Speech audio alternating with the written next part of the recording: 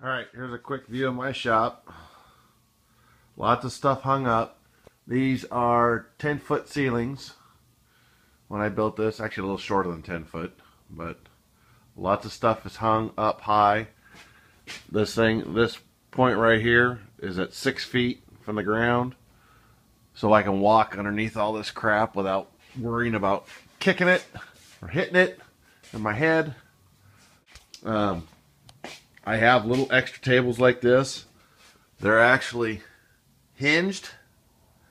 So if I had to, I can drop them down and and have a complete space.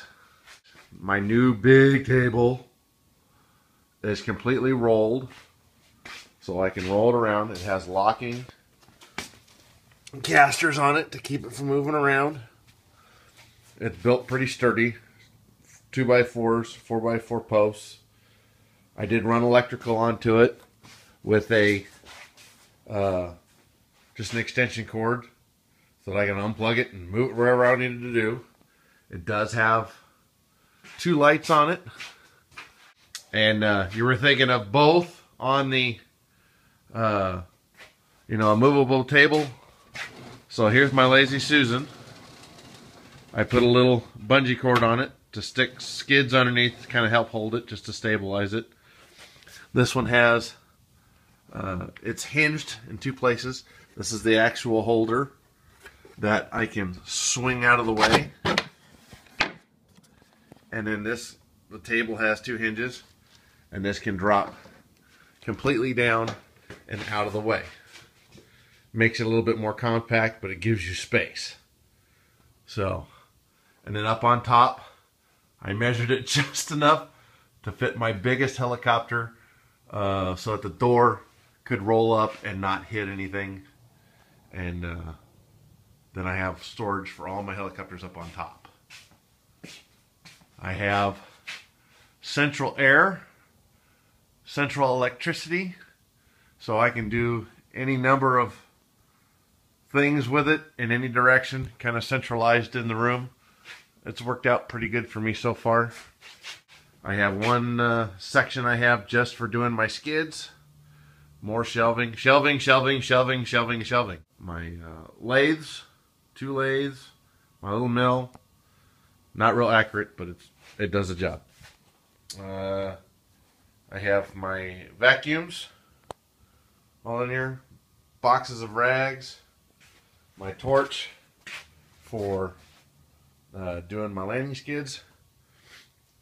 I got this was a cool little thing I'd seen. It's a uh, a belt with a grinder that I use. I have so everything's really tight and compact. I have my cutter. It's all movable. The cord actually I just drilled the hole and put the cord down below, so I didn't have cords running back behind anything. Um, I have limited space in here, a lot more than others, but it's limited for me. Uh, my bandsaw, it kind of moves. It just clears if I need to. I can get to my switch. The most important tool when you're making any woodworker type thing is a tabletop belt disc sander.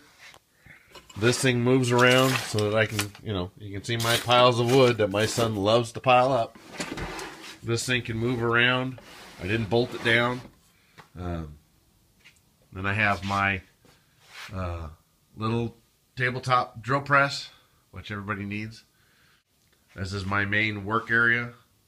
I have raised up the other Lazy Susan on here and it does spin around so that you can put a helicopter on it and uh, work on either side of it. This one will actually hold my crane. Yeah, my sad little crane that's sitting up there waiting for more parts. Um, it'll spin 360 degrees uh, in this setup that I've got here. You see the, the top actually hangs over the wall that I have built back there. And uh, it's big enough to hold this whole thing and spin 360 degrees. Um, I made another uh, fluorescent light set up above this one. I realized when I made the big one over here that I wanted another one. So lots of light. I have uh, outdoor lighting. These are the big outdoor 90 watt bulbs. I've got uh, nine of them and they're all pointed down in specific areas.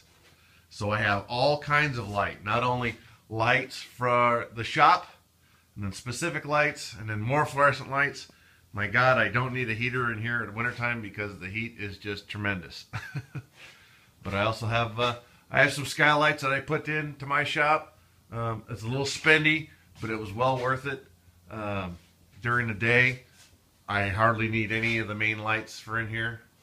You do the work in the shop with all your stuff stored, you're going to have to clean it off.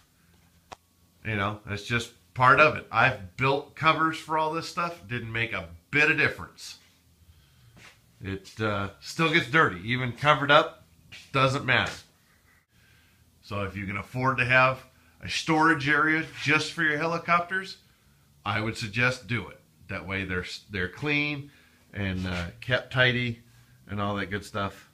Anyway, that's my little bitty shop. Uh, one last thing, I put uh, double doors. I can open up both those doors and take something, you know, five foot wide out if I had to. So, hopefully that gives you some ideas. Uh, I don't paint. I didn't paint the place. I put pictures up. Primered the whole place and just put pictures up. It works for me. So, hopefully you guys will find some ideas. If you guys got any questions, shoot me a PM, shoot me an email, send me a text, do whatever. Um, just to give you an idea, this is a 20 by 22 garage with 10 foot ceilings. Okay?